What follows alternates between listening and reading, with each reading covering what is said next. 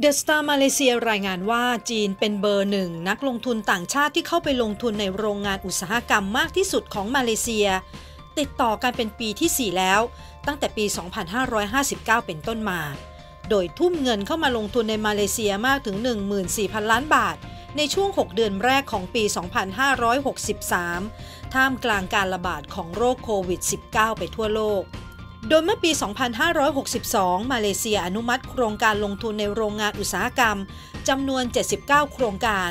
มูลค่ารวม 2.5 ล้านล้านบาท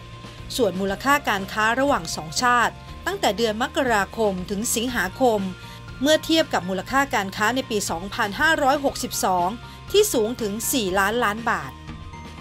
รายงานข่าวยังระบุอีกว่ามาเลเซียและจีนได้แสดงถึงความเป็นมิตรแท้ต่อกัน ในช่วงเวลาที่โควิด -19 ระบาด โดยให้ความช่วยเหลือสนับสนุนและร่วมกันแก้ปัญหาเศรษฐกิจและโควิด -19 ไปด้วยกัน ซึ่งมาเลเซียเชื่อมั่นว่าในอนาคต นักลงทุนจากจีนจะเข้ามาลงทุนในเศรษฐกิจดิจิทัล และเกษตรสมัยใหม่ของมาเลเซียเพิ่มมากขึ้นโดยในการเสวนาออนไลน์การประชุม 10 ปี นักธุรกิจมาเลเซียและจีน จัดโดยหอการค้าจีนมาเลเซีย และกระทรวงพาณิชย์จีน สาขามณฑลฟูเจียน ร่วมเสวนาเพื่อสร้างความสัมพันธ์ ระหว่างผู้ประกอบการจากสองชาติ และกระตุ้นให้เกิดการค้าการลงทุนอย่างต่อเนื่อง